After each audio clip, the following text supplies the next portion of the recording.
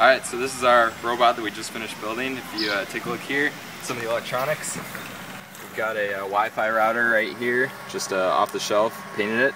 We've got um, 140 amp breaker, got some fuse blocks up here. We've got four speed controllers in the back, and then we have four CIM motors. This provides uh, quite a bit of power, and then we just have a 12 volt car battery in here. And uh, how we actually are controlling this is I've written a, a, program for Android, or an Android app, that just sends data over Wi-Fi. So this connects to our robot, and then these are just virtual joysticks, and it sends the data over to the robot, and the robot drives. So let's check it out.